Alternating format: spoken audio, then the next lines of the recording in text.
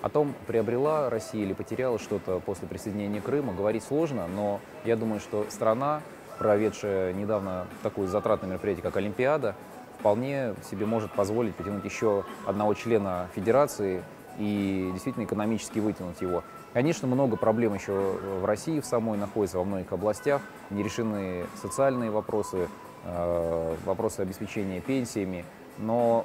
я думаю, что есть более стратегические цели и задачи, я думаю, что есть более стратегические цели и задачи, которыми, я думаю, что есть более стратегические ценные